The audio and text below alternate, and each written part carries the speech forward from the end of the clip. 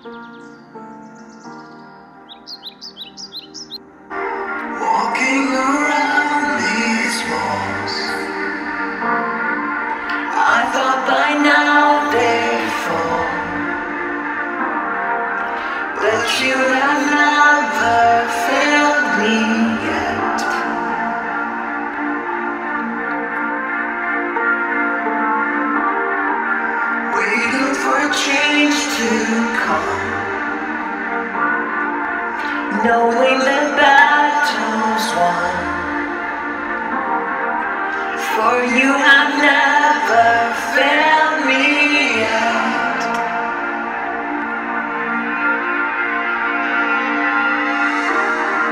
The promise still stands. It is your faithfulness, faithfulness.